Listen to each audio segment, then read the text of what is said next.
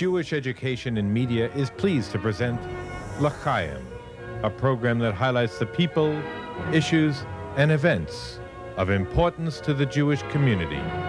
Now, here is your host, Rabbi Mark Golub.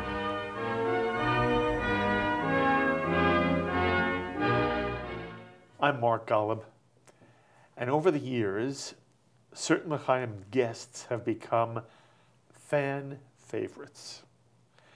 One of the most popular fan favorites of all is Dr. Jeffrey S. Gurock, the Libby M. Klapperman Professor of Jewish History at Yeshiva University. Jeff Gurock is a most highly respected scholar in the field of American Jewish history. He has twice been chair of the Academic Council of the American Jewish Historical Society. And Jeff is an outstanding lecturer who speaks to Jewish and non Jewish groups throughout America. And he is a superb writer who's authored or edited 18 books on American Jewish history, many of which have become classic studies in the development of the American Jewish community. Beginning with Jeff's first book, which he has since revised and updated, entitled When Harlem Was Jewish The Rise, Decline, and Revival of a Jewish Community. Jeff's outstanding book on the life and contribution of Mordecai Kaplan, entitled A Modern Heretic and a Traditional Community Mordecai M. Kaplan, Orthodoxy and American Judaism, and explores the ways Kaplan has had a profound influence on the development of all movements of Judaism and Jewish life here in America, including Orthodox Judaism. A book which won Jeff Gurock the American Historical Society's esteemed Saul Viener Prize for the best book written in the field of American Jewish history. Among Jeff's many other works is a study of Orthodox Judaism in America and a look at Judaism's encounter with American sports. And I could go on and on and on, describe Jeff's prolific writing career. And now Jeff Gurock has written yet another wonderful and important profile of a slice of Americana that tells the marvelous story of a housing development of 12,000 apartments built in 1940 on just 29 acres of land in the eastern section of Bronx, New York, which housed some 40,000 carefully vetted working class residents who were lucky enough to wind up living in a two bedroom apartment for only $54 a month. A virtual self contained community of trees and flowers and a massive fountain area. A mere subway ride from downtown Manhattan, in which Irish Catholics and Italian Catholics and Protestants lived in harmony, harmony alongside Orthodox Jews, conservative Jews, Reform Jews, secular Jews. The book is aptly named for the place one refrigerator ad in 1940 called the Town of Tomorrow, Parkchester, a Bronx tale of race and ethnicity. And in this gem of a book, that's an easy, fun read. Jeff Gurock tells the fascinating story of Parkchester's 80, 80 year old history, sharing with us marvelous, intimate stories of the community's multicultural residents, which chronicle Parkchester's social evolution on the one hand and its eternal character on the other. Jeff Gurock has written a beautiful historical and sociological study of a piece of New York that is a microcosm of America. Mazal Tov to you on another wonderful, wonderful, beautifully written, by the way. It is so beautifully written. You were just gifted. I've told you this before. You are gifted and you are able to tell a story, an historical story in a way that is so accessible and fun to read. Mazal Tov. Well, thanks. I, I think we're done now. But, but, but thank you very much. Uh, it was uh, a labor of love to a great extent. Uh, what you didn't mention Yes, I did that, it on purpose. okay, But go ahead and tell us. the last three pages of the Yes, book. you did. You tell us at the very. You and I look. We are very good friends. Right. I know who you are. I know where this book comes from, but you don't tell the reader until the concluding piece of the book. And what you tell us is that I grew up in Parkchester and I lived the first 25 years of my life in Parkchester. And as part of the research, I returned to Parkchester and I met so many people who now live there. And one of the things that comes through, I hope, in the book is that although the neighborhood has changed a great deal, and there are almost no Jews living in Parkchester today, the people who live there remind me a lot of my parents and my parents' friends. They are African Americans, they're Latinos, they're Malaysians, they're Bangladeshis, it's uh, Indians and the like. many But who are who are Islamic. Islamic, Yeah. right, for sure. There are six mosques in the neighborhood. Our synagogue, Young Israel Parkchester, is now a mosque, I've become very friendly with the Bangladeshis who run that particular mosque. and you uh, become very good friends with a 19-year-old Right. who ultimately it's almost as if he becomes your guide to an area where you grew up with. And his name again is Tamsadol Islam. Taz, Taz. Right. Right. nice kid. I just want to say one thing and Yeah. then tell me Yeah. his story because I want to know if you think my description is accurate. As you describe it, it sounds like I was.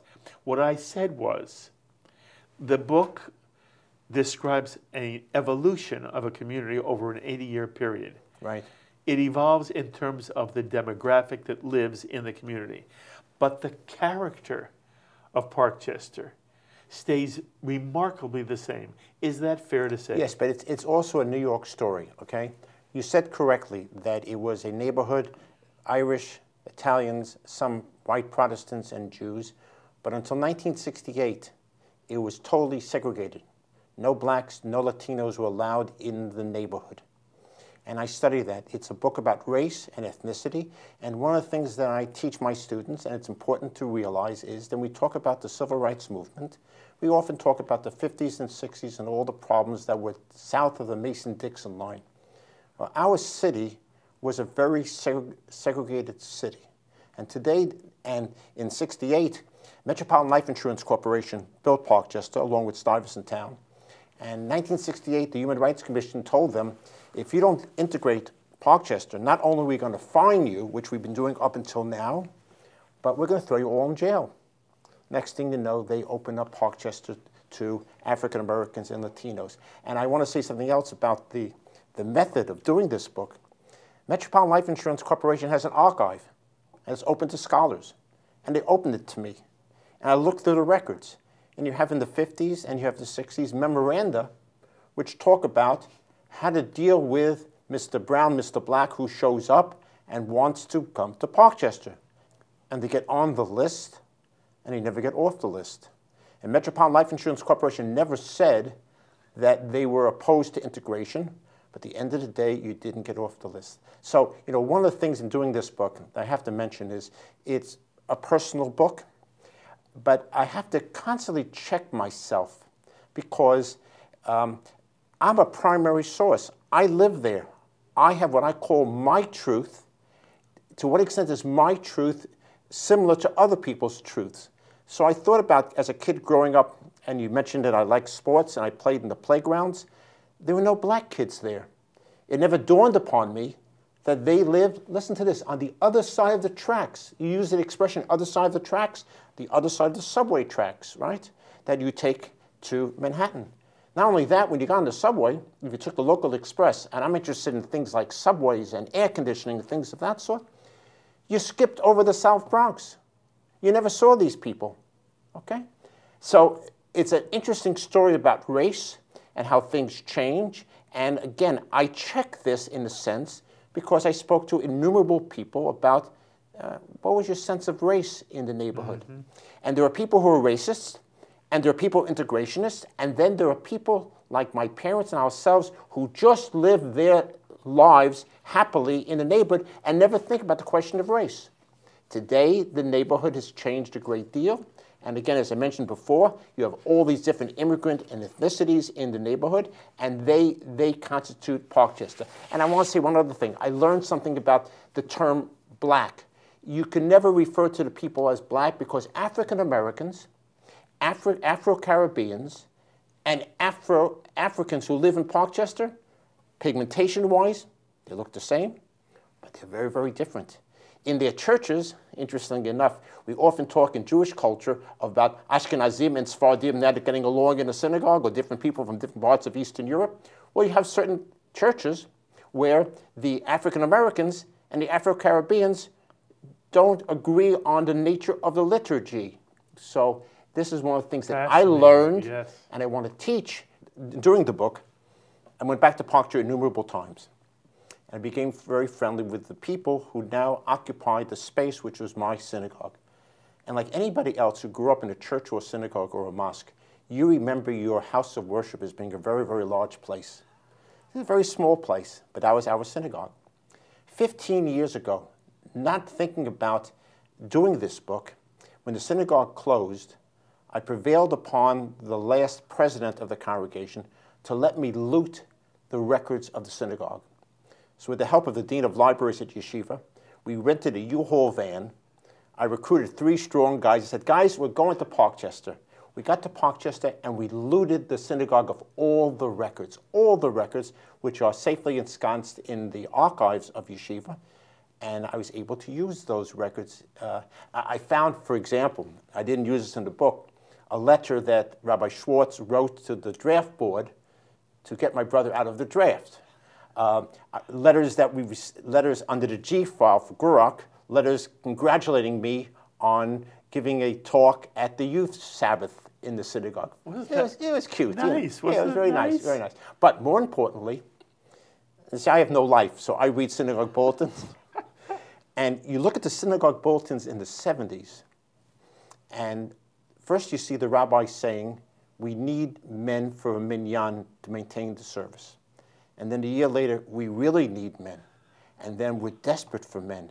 And now we have no service. And then the rabbi leaves because he says, Rabbi Schwartz says, an Orthodox synagogue without the daily synagogue prayers is not really a synagogue. So through that type of thing, you're able to see the story of that synagogue. But by the way, the book, I have to say, this is my first book which isn't about Jews. Exactly the Jew, right. Jews are part of the story. That is so correct. I'm the Chaim, so I'm talking the Jewish piece, but it's it's about America. America it's a and piece of America. So this kid, so I, I go back to this to the mosque to interview the imam, and he's a lovely gentleman, but he has heavily accented English, and I'm having trouble understanding. This young man comes over to me. He says, "Sir." Can I help? I said, Sure. So he sort of translates for me. And then he says to me, Would you like to see the other five mosques? I say, Sure. We make an appointment to go back the following week. And we go from mosque to mosque, take my shoes off, my shoes on. Everybody's friendly, everybody's interested. They know I'm Jewish. No problem at all. People are good people, okay? Remind me of our people. So while we're driving around, I say, you know, when I was a kid, I live literally around the corner from where you live. And on a snowy winter morning, the phone would ring at 6.30 in the morning, and Rabbi Schwartz would be on the phone, and my father would yell, Jeff, Noah, that's my brother, get up, we're going to the minyan.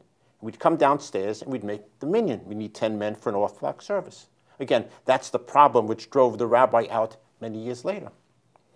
And after services, my father would go off to work on that subway, the old men would have a couple of belts of schnapps to get the, the motor running, and I would get a reward. The rabbi would give me a shovel to shovel off the sidewalk. So the kid says to me, That's awfully interesting. I use the same shovel. Now, I don't think it's the same shovel, right? But uh, It, it, it it's is the same, literally the the same, but it is the, same, shovel. shovel. And he has a um, he has a, a weekend job. He runs a youth group in the mosque. I ran a youth group in the mosque. And this kid now, he graduated Bronx High School of Science. He's now going to NYU on a uh, full ride, uh, and he majoring in electrical engineering, minoring in business. And I end the book with this kid, and I say, you know what? He is one of us. He could have been a member of the Young Israel Parkchester. The only difference is he prays five times a day. Orthodox Jews pray three times a day. So, you know, we talk, and listen, I'm not diminishing conflict between Muslims and Jews uh, for sure. I'm not Pollyannish about that. But on the human level, people, good people, try to get, a, try to get along with one another. And one last story, I'm monopolizing this, but I'm a storyteller. I take my Pamela, my wife, and I take two of our grandchildren back to Parkchester to the beautiful Metropolitan Oval for a, for a children's concert uh, that same summer. And uh, the kids are online and getting their faces painted like children like to do. And this Latino woman, 38 years old, who's getting her children face painted. By the way, I just want you to understand, it's one of the main things I wanted to talk to you about. Right. It is, in my mind, the single most important conversation, and it's only a sentence or two long Right. in the whole book. Finish the story. Okay, so I'm talking to her, and I'm telling about the book, and she's sort of intrigued, etc. So I said, how do you like living in Parkchester? She says, you know, it used to be great. But now we have all these Bangladeshis here, and they have so many children, and they and they, the, the food smell and things of that sort.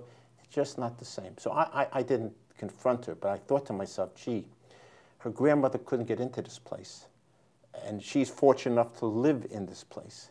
So look at the contrast. You have this young man, and you have somebody else who says the, Bang- are the Bangladeshis taking over.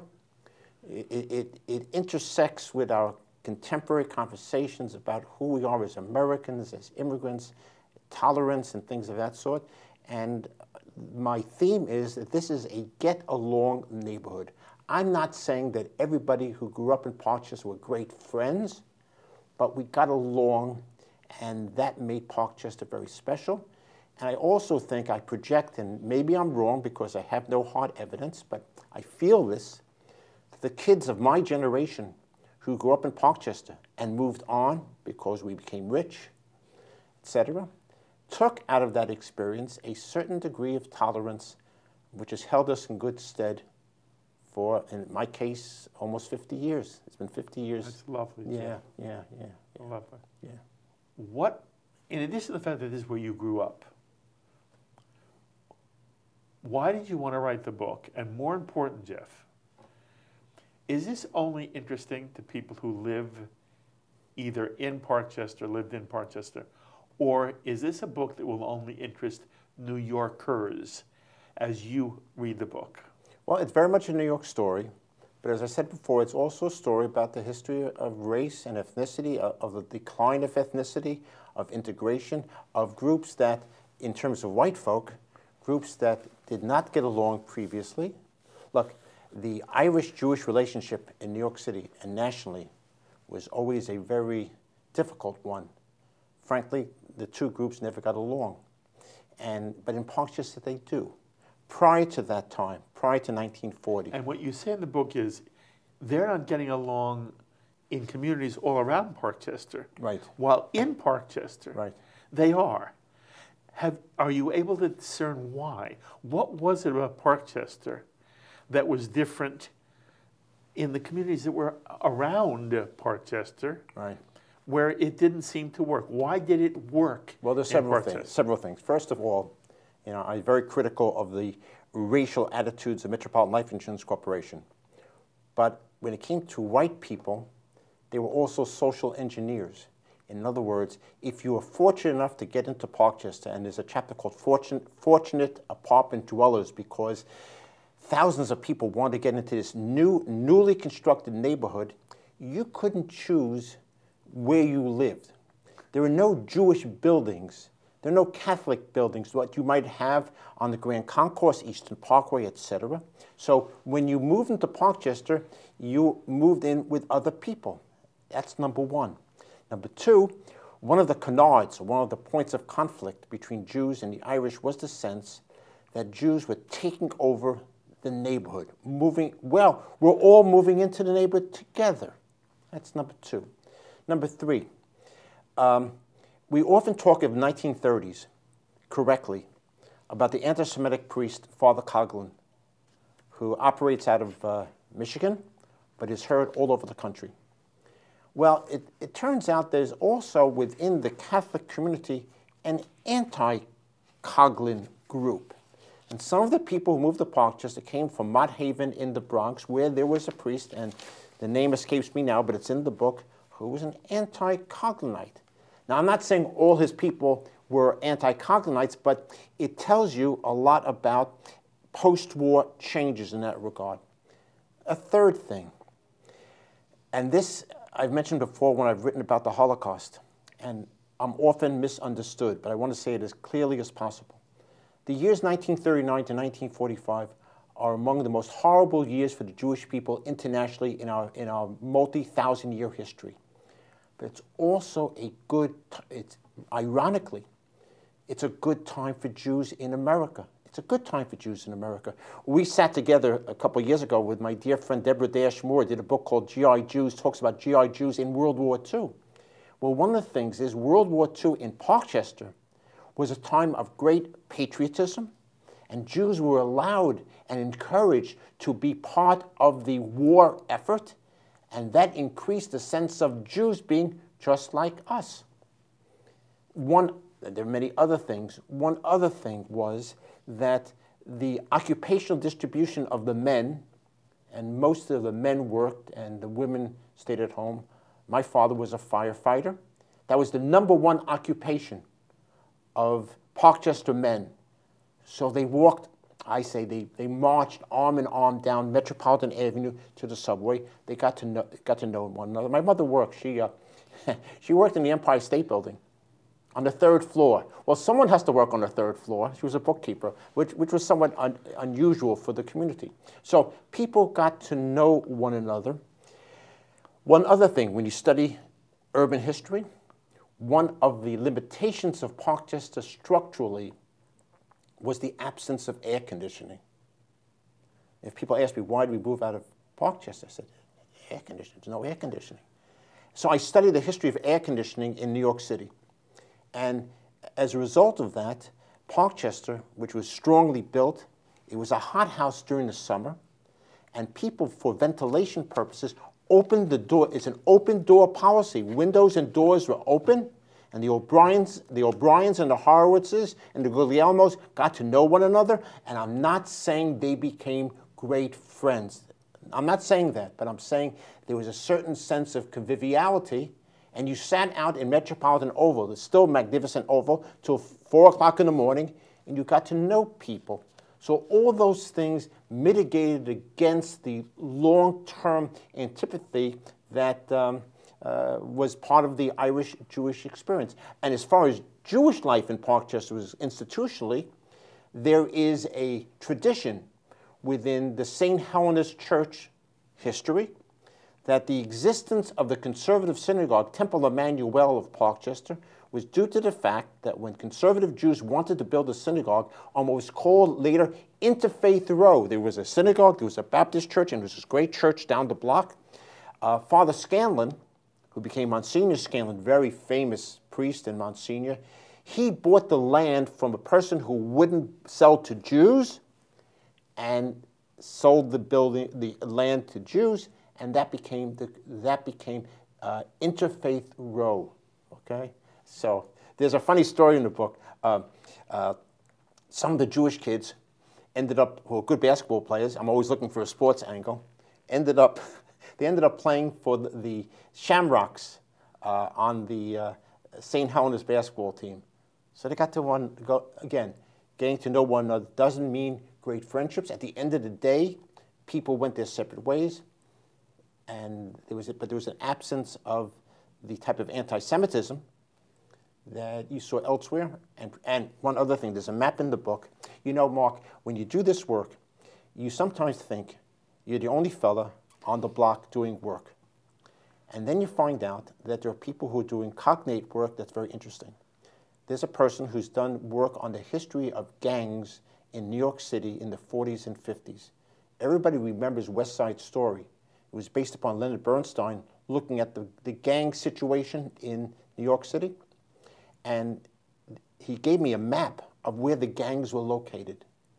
And if you look at the Bronx, you see gangs everywhere, but not in Parkchester.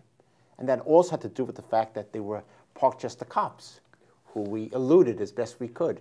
And everybody has the same story. So I, one last thing, when I everything I write about that I think it was my experience, I checked and double checked to the best of my ability whether people had similar experiences.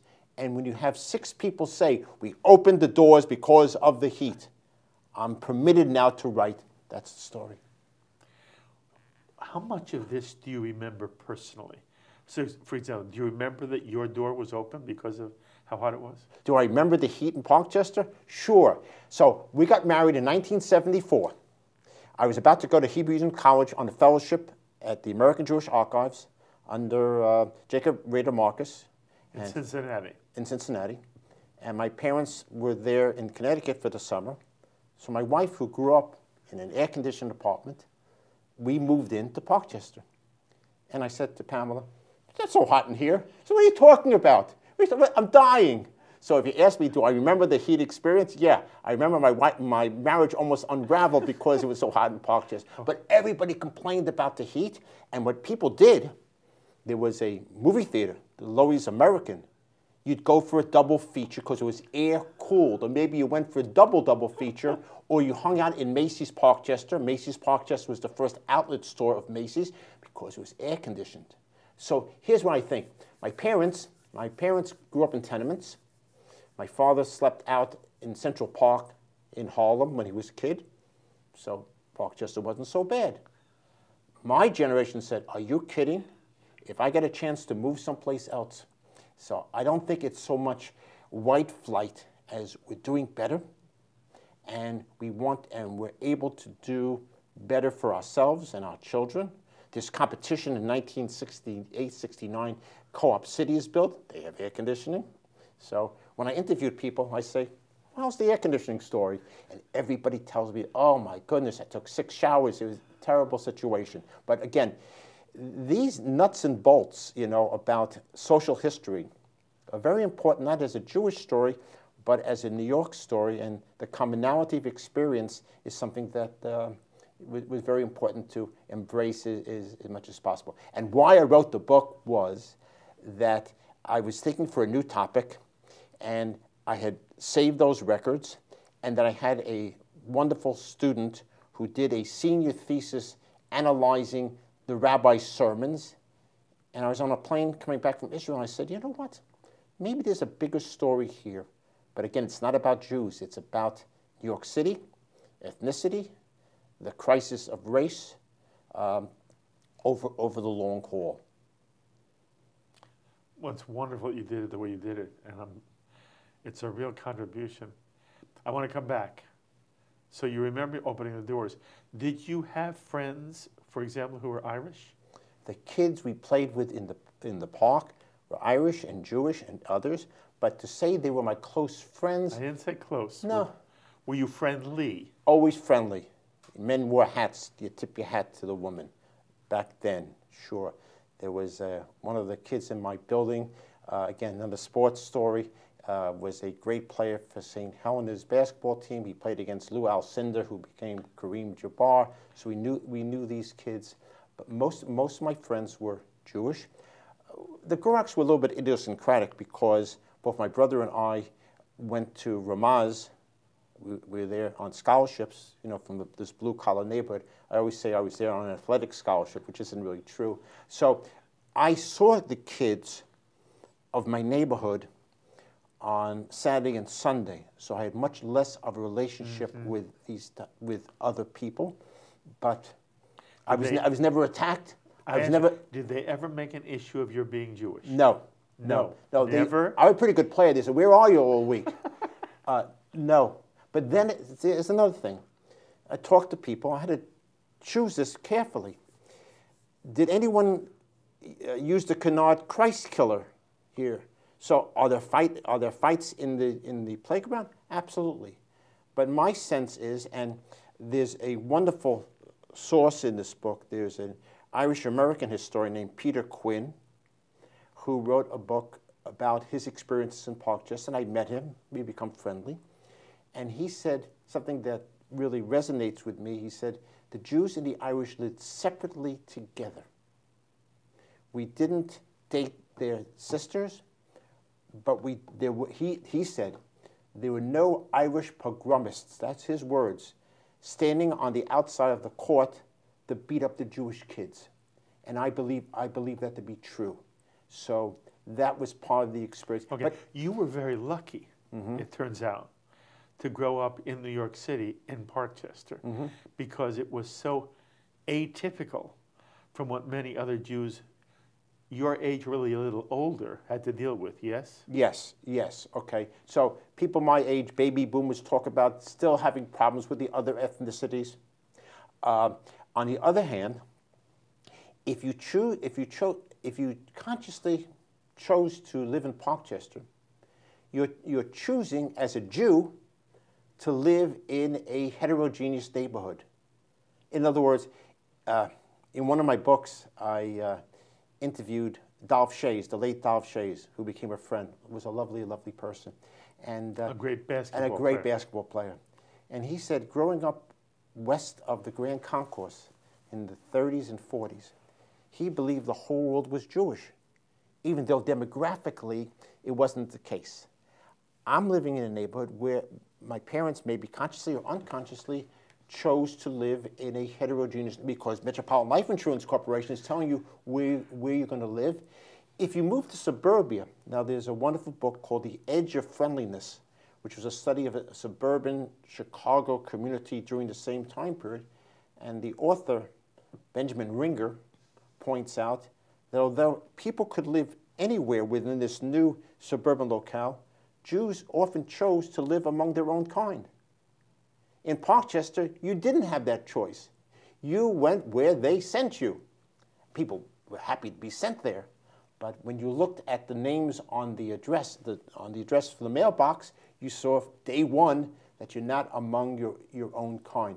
And the other thing is that there were no house, houses of worship within Parkchester. I think Metropolitan Life Insurance Corporation didn't want what they would call the wrong element coming to church there. So there's that, that ring outside churches and synagogues. So, uh, as far as anti Semitism is concerned, someone told me, I had to check it out, that there was a quota against Jews. I saw no evidence of that. However, I was told part of St. Helena's law, L R R E, is that if Father Scanlon picked up the phone and called Metropolitan Life and said, you know, I need an apartment for the parents of a nun or a priest, the, the apartment appeared. That's special privileged treatment, not a quota system against Jews. And we never felt as if we were discriminated against in the neighborhood. And being from a traditional family, we were idiosyncratic in the sense we were concerned with maintaining our traditions. Where most of the kids in the neighborhood really didn't care, but that's not much in the book. I- No, I- it's not. No, I, and I- I was going to ask you, Yeah. did was there friction of any kind among Jews who prayed in different synagogues or who came from different movements? To what extent was, in any way, there a uh, a hierarchy Mm-hmm. of Jew based on what kind of Jew they were? Okay, so that's not in the book, but I have written a sidebar piece called The Jewishness of Parkchester, which will come out in a couple of weeks when this book appears, uh, which talks about that issue. And I think among the young people, uh, whether they went to the conservative synagogue or the Orthodox synagogue, again, we were different. We went to a day school, we went to Ramaz. Uh, there was a get along spirit between the conservative and the Orthodox. Sadly, and this is uh, uh, prescient as far as contemporary times, um, the Orthodox rabbi and the conservative rabbi did not get along nearly as well as the laity.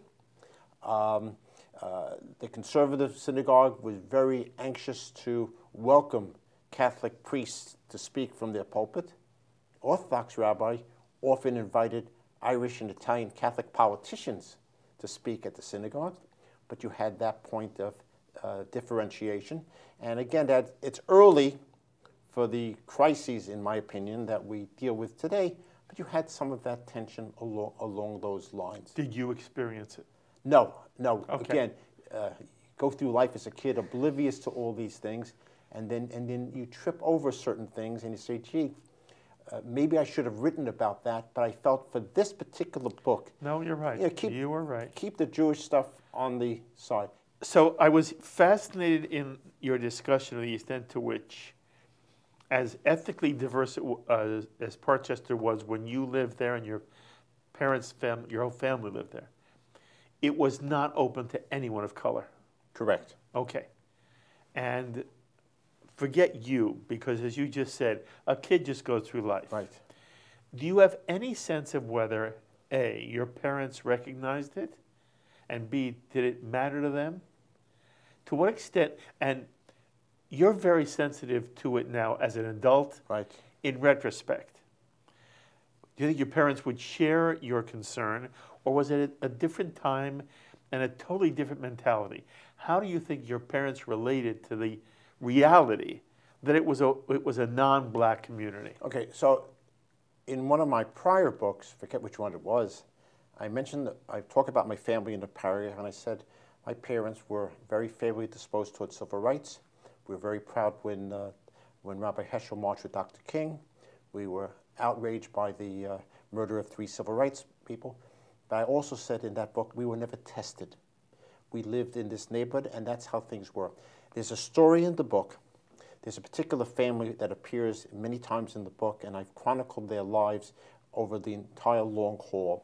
There's a family called the Horowitz family. Yes. The Horowitz family, Irene and Julius. uh, Irene and Julius Horowitz, and Julia Horowitz helped give me bar mitzvah lessons. He was a wonderful gentleman. So Irene Horowitz, who died a few years ago, moved in day one, and she stayed till she died over 100 years.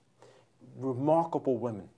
Now, and, and in 19, which was 99, she did an interview with New York One, and I had that tape. And everything she said, everything she said, checked out.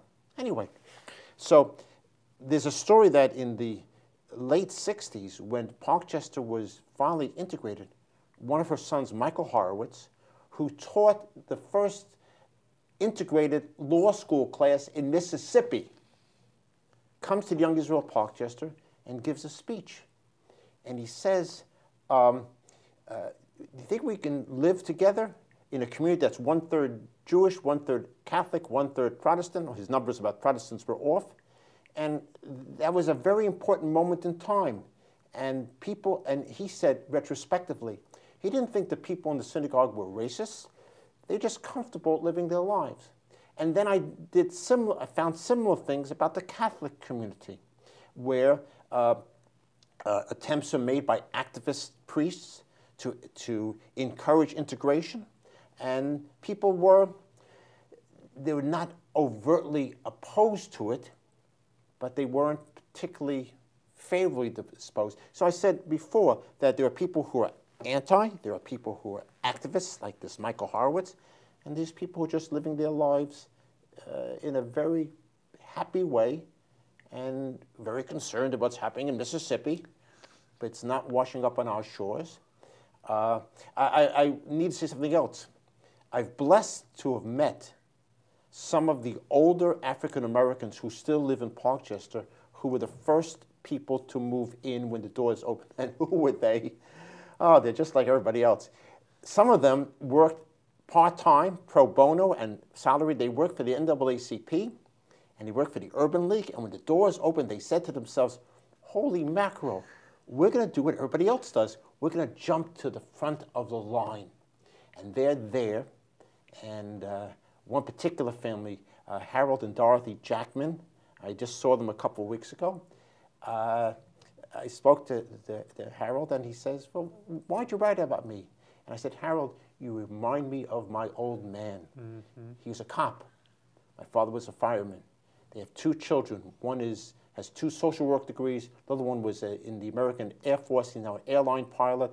And they were very much people who wanted to get into Parkchester, had been discriminated against, and were fortunate enough to get into Parkchester when the doors finally opened. And one other final thing, which I think is very important, we often talk about white flight out of neighborhoods. I talk about black flight. What I mean by that is, and this is New York history, when, when New York begins to deteriorate in the 70s, in the South Bronx, in Brooklyn, etc., where do the solid middle class, working class African Americans go? They flee those deteriorating neighborhoods, and many of them end up in Parkchester. Fascinating. So I want you to compare and contrast for me. And the thought comes to me, and you'll tell me whether it's fair. You spent so much time studying the Harlem community, and now you're studying Parkchester. And one of the things you seemed to say about Harlem was there was a Jewish population, the Jewish population left, it was replaced by a black, the African American community. Right. And I'm thinking to myself, well, it wasn't a Jewish community in Parkchester. Jews were part of a white, basically a white community, Italian, Irish, Jew. A Few Germans, yeah. And they leave, and they don't leave because they're fleeing. They're leaving, as you point out, they want to improve them, their lives, and your metaphor is the air conditioning. But as they leave, they're replaced. Right. I want to know the extent to which there's a similarity, any similarity, in what you experienced and learned about Harlem as it applies to Parkchester, Parkchester or are there, is it two totally different experiences? It's two different eras. When Jews leave Harlem, they're leaving a neighborhood that is physically in decline, and they're moving on to Grand Concourse, Eastern Parkway, etc. Uh, the Jews who leave Parkchester are not leaving a neighborhood that's been destroyed. You know, uh, when we took the grandchildren to Parkchester, they wanted to see where I grew up, and I showed them the building. And of course, I had to explain to them we didn't own that building. We had a little apartment, two bedroom apartment in that building. Okay, so it was a very, very different experience. Uh, people moved on as opposed to be sense of being driven out because they're doing better. And again, it's not a Jewish story. It's a story. It's a story about mobility, and it's a story about different generations and how they experience New York life. And uh, you know, interesting enough, uh, the synagogue I belong to in Riverdale, Hebrew Institute of Riverdale, uh, has eight or nine couples who were alumni of Parkchester, and we're great fans of Rabbi Avi Weiss, who's been on your show. We're, all good friends. And why did we join that synagogue in the 70s? Because it was like uh, a landsmanship situation. Mm-hmm. We wanted to pray with people we grew up with in, in that neighborhood. So the Harlem experience is very, very different. Uh, Parkchester, again, uh, oh, and there's one other piece to the story, and that is blacks and whites had one thing in common in the 70s. There's a chapter called Mrs. Helmsley Should Do Her Time in Parkchester, which was a, the Helmsley Spear Corporation took over Parkchester, and they were integrationists, but they also sucked the guts out of Parkchester in terms of the uh, uh, maximizing their profits. So the blacks and the whites, the blacks and Latinos who move in, and the, the aging whites, they had a common enemy. The common enemy was the Helmsley. And fortunately today, over the last 10, 15 years, you know, that young man, he's got an advantage over me when I was a kid. He's got air conditioning in his apartment.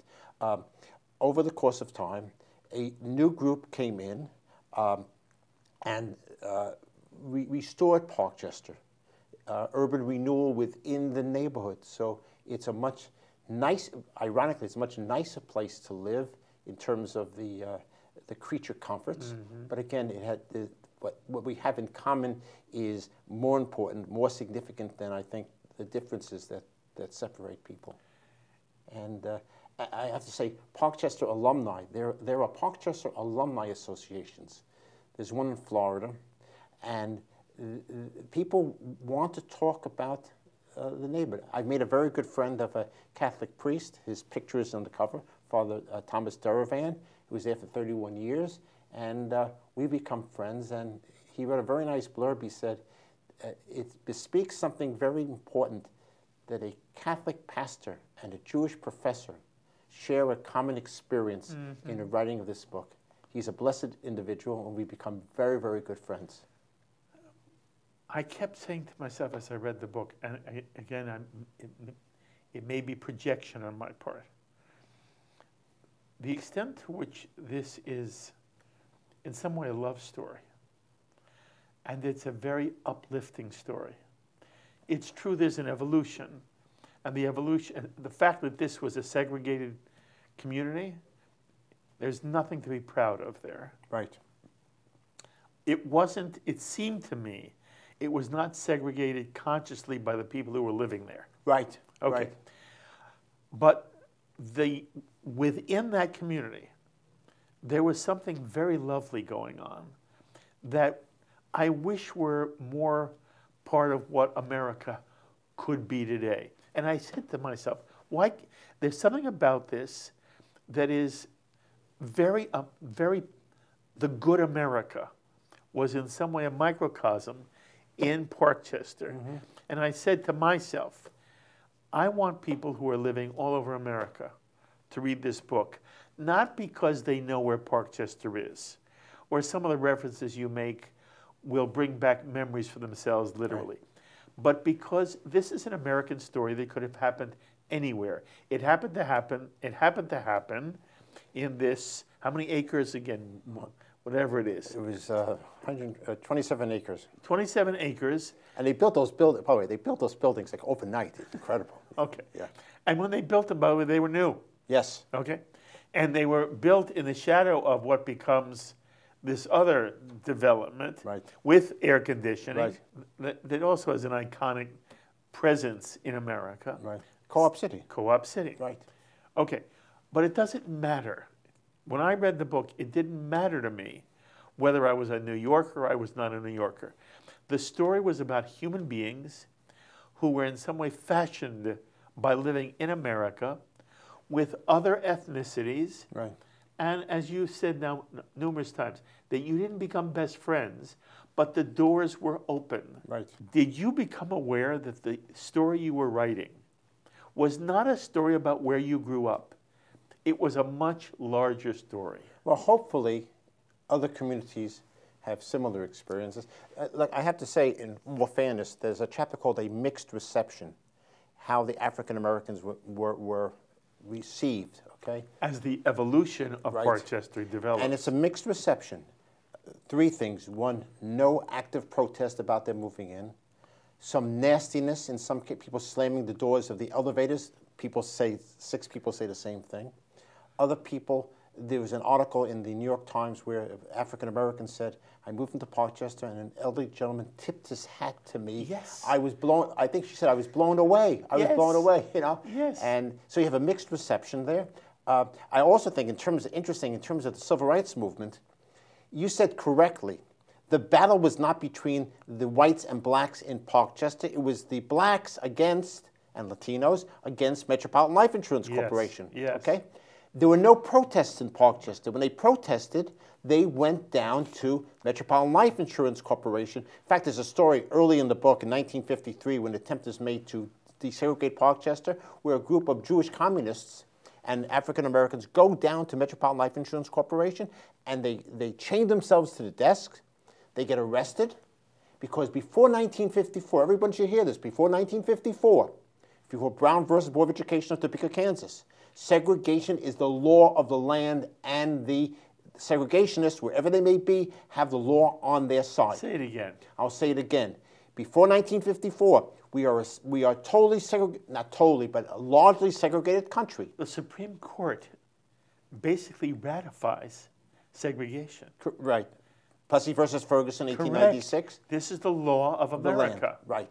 So, when Metropolitan Life Insurance Corporation goes to the courts and says these people are interlopers, the courts uph- upheld them. Not only that, the General Counsel of Metropolitan Life writes a law article, a law article in the University of Chicago Journal, how they kept the fiduciary rights of the ownership of Parkchester uh, intact. And one of their issues is that we've kept the place segregated. Nobody is embarrassed. And they didn't burn the records. So I'm fortunate enough 40 years ago later to go to the archive. I'm flipping through the pages. Memorandum, say this, don't do this, don't do this, don't do that. And that's and that's an Was that like a pearl for you? I, I- you know, let me tell you something. When you do this research, you sit in an archive and you go stuff and nothing, nothing, nothing, and all of a sudden you find something which is extraordinarily interesting, and you know, and it makes your day. You were kind enough to mention that I, a while back I did a book on Mordecai Kaplan. So he had 9,000 pages of his journal for 58 years. So you sit and you sit and you sit and nothing happens, and all of a sudden, bingo. And you want you want to say to somebody, "Look what I found!" yes. But you're alone in the library, and you just make notes. Mm-hmm. Did you ever hear the word Schwarze as a kid? Yes, yes, not from my parents. But not from your parents. No, no. And there may be people who don't understand the reference. Right. If they don't, how wonderful. But at one point in the Jewish community, our grandparents referred to blacks as Schwarze, which is the word black Right. in Yiddish, Right, but derogatorily. horribly derogatory. And we had to grow out of it. Mm-hmm. And so I was wondering, you know, in terms of your parents and your life in Parkchester, was it a word you heard? And the answer is no. No. But Michael Horowitz wants more from us. You see, Michael Horowitz gets up in the Friday Night Forum and says, we have to welcome these people into our neighborhood, one third Jewish, one third Catholic, one third Protestant, and people shuffling their feet, and they're not yelling out Schwarzes at him, but they're very comfortable with their lives, as are, are our friends across the street or down the block who are in the Lutheran Church, which is all white, and today it's all African American, Afro Caribbean, and African, and they don't always get along with one another. Okay, so end this way for me. This is some. This is where you grow up. You are a Jewish kid in a multi multi religious community. Right. It's maybe all white, but even within the white community, there are different ethnicities. Right. Okay. Now you go back. It's not the same at all. And yet there's something so similar. Try to put your finger on it one more time. When you go back and, and you experience, it's not, it's home and it's not home at the same time. There's something about this that moves you, correct? Mm-hmm. And it is what? That I'm, that I'm welcomed back as a alumnus of Parkchester, and I can take my children, my grandchildren, with my wife to a concert where I think we were the only white folks in the neighborhood, and people smile and people are welcoming and people have their own images of Parkchester, and I walk the streets, uh, you know. Uh, uh, it, it, remains very much the same as far as my own sense of it. And everyone I talk to who live in Parkchester, we loved, we loved living there. Yes. I can't say enough about how, what, how fortunate we were that when the social workers came to my parents' apartment on Newbold Avenue and checked them out. Actually, a social worker went to check you out before you went. But everyone was vetted. Vetted. Six ways from Sunday. Right, white gloves, white gloves, right? Mrs. Horowitz, they came with white gloves. And we were fortunate to get in. And, um, you know, my parents never said how lucky we were to be in Parkchester. But um, implicitly, yeah, we were lucky. You knew they felt that way. We knew they felt that way. Yes.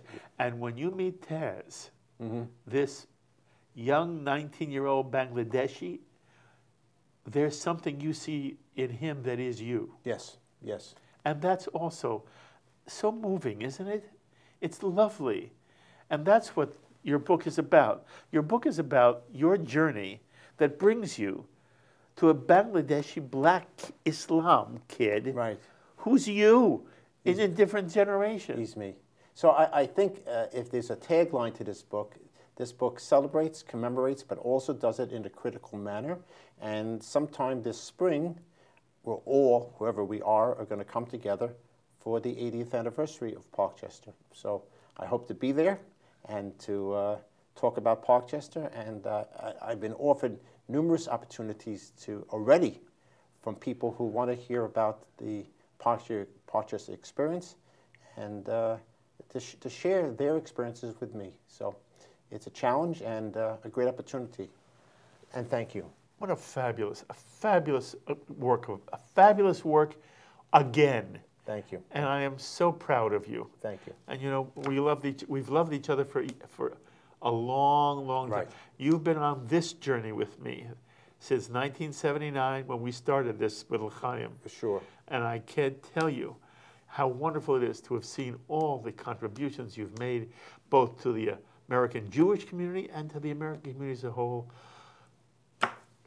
Yasha Koach, Kol Thank you. I just have, I I just have to say that, you know, uh, a lot of the things that I've done and developed and learned, even in doing interviews, has to do with the fact of your mentorship, uh, in addition to your friendship with Ruth and Pamela. So let's keep doing it. Let's That's keep doing it. Okay. Good for you.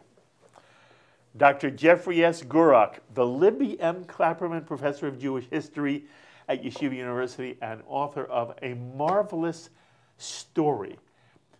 You get the Jeff is the consummate storyteller, and that's also what makes the way he writes extraordinary. And I, I hope all of you can pick up Park Chester, a Bronx Tale of Race and Ethnicity. It is a wonderful read.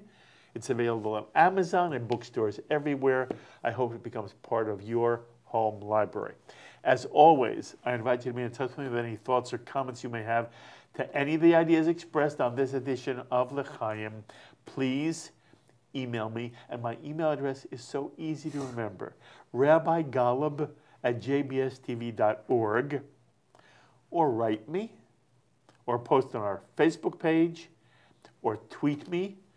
I always look forward to hearing from many of you, especially if you ever lived in Parkchester. I want to hear from you, and I will pass your story, anything you write me, on to Jeff. You already heard, if you want a piece of his, you want to see his piece that he's writing about the Jews of Parkchester, email me. I will send them to him, and he will then get them to you.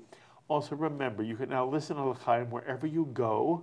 And more and more people, I'm so thrilled, more and more people tell me they're listening to the L'Chayim podcast while driving in their car. Anyway, you can listen to L'Chayim on podcast. Just visit iTunes or Google Play, wherever you download your podcasts, and download and enjoy L'Chayim. And so until the next time, I'm Mark Golub. L'chaim, my friends, to life.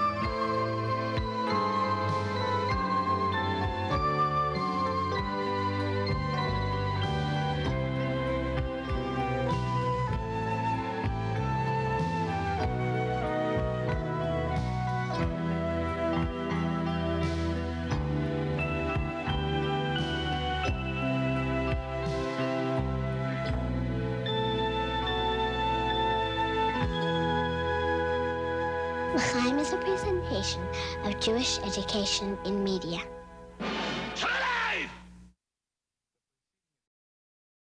We would be pleased to send a complimentary DVD of this program to anyone who wishes to support JBS with a tax deductible gift of $36, double chai or more.